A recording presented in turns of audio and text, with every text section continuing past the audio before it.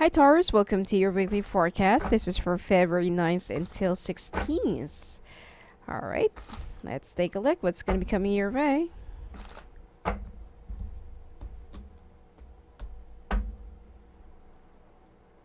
Mmm. Mmm.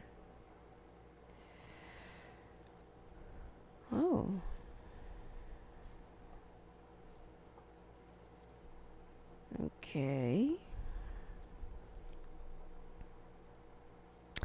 You know, Taurus, you need to make a choice this week, but you need to be a little bit more careful in choosing. Okay, don't be a little bit impulsive.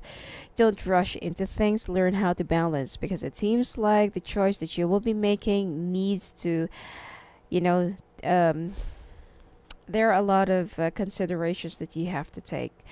Now, you are also planning or you want to walk away from your job or you want to quit, you know, because of the things that you're currently going through, but this is not yet the right time. Okay?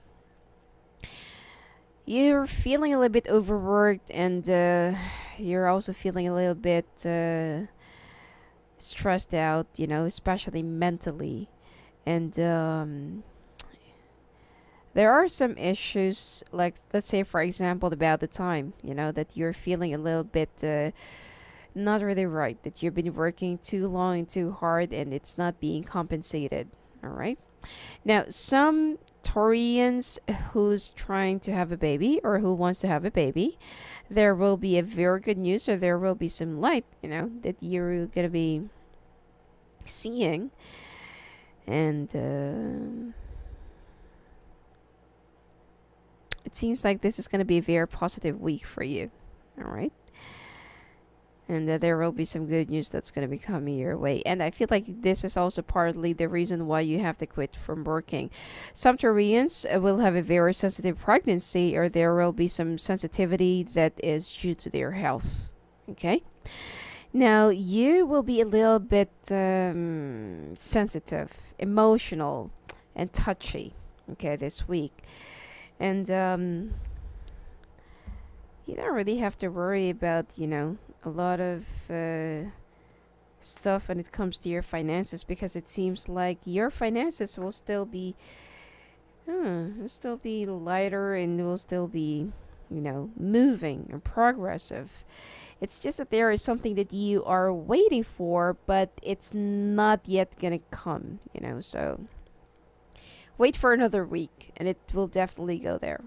Now, you are also, when it comes to your relationships or when it comes to your, uh, let's say, your domestic life or to somebody that you're with, you're feeling a little bit discontented, a little bit walled up, disconnected, detached, you know, cold and distant because there are some things in a relationship that you want to happen, that you want to see that you want to witness but it seems like you're either your partner is intentionally ignoring your needs or your partner just you know practically doesn't care at all. So this is your your main thinking. And you know this is also one of the reasons why if you are trying to make a decision about whether you should go or not try to let this energy pass by or try to let this week pass by and try to you know um, wait for a little while or try to be a little bit more patient because this is definitely not the week for you to make a very major decision about a major issue. Okay? Uh, you just, I, I also feel like you just need to talk. Both of you do not really understand uh, the way you've been treating each other, and it has been, and it's been going on for quite a while. And, um, you know, when there are some things that your partner wants to tell you, or when there are some things that your partner raises up, you're not really listening, or you don't want to listen because it's for you, it's like, ah, here we go again. You're like this, you're like that, you know. It's like we're just going in circles and yada, yada, yada. But you know what? If you can just try to understand where your partner is coming from, then I feel like you're, you know, you will definitely come up with a solution instead of walling each other up and uh, withdrawing okay this is you know this relationship is worth saving for but sometimes we just need to take a break you know, or sometimes we just need to move away from the other, you know, go on a vacation, visit your family, take a quick getaway, you know, on the weekends and um, have a little breather, okay, for you to have more space and for you to think things through. Because you know, when that person that is already right in front of us just overcrowds our space, we tend to push away more, okay?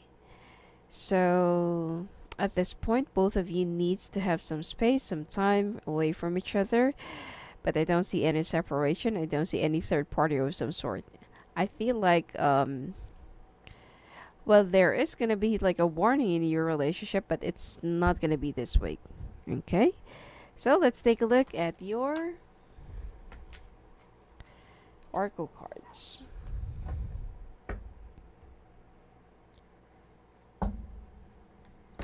Some Taurians are actually not really, um, you know, satisfied with their job or satisfied with whatever they've been doing their career. They're, you know, they keep on thinking on how to change things or how to move forward or what to do next. Okay, they're still looking for their life path and for their life purpose, and uh, they're still confused. But uh, you will know the answer by the end of the by the end of the month. All right. And the year is also going through the uh, the energy change because uh, now we are already in the year of the pig. All right, go the distance, poised and thinker. Time for a nap. Yeah, that you know, that is actually what you need. You need to relax. You need to catch up some more sleep so that you won't be that moody, and you won't be that uh, you know irritable. You need to discard that negativity out of your system and uh, out of your heart or out of your chest. Okay? And don't be so blinded. You know, for those Taurians who's been having some suitors or, you know, uh, admirers, um, not because that this person is paying attention to you, they are what you see. Okay, or they are what you think they are.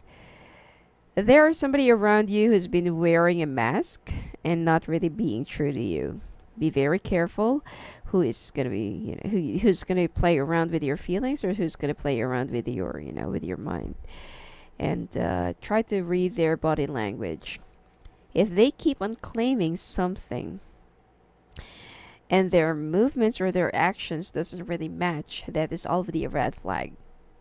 Okay. Now you will surely go the distance especially when it comes to your work. Okay.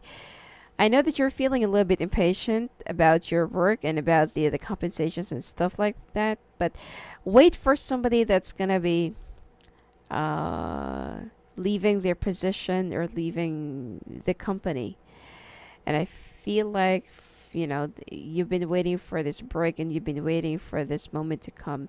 Your boss or your superior will finally recognize your efforts and will finally recognize your contribution to the company and they will be recommending you for that position to handle all right so you need to be a little bit more patient i know that you've been waiting for the sign like where am i going to go? What is my life purpose? I'm feeling so bored with this job you know and I've been stuck with this position with this job for you know for this so and so years and nothing nothing is happening in my life.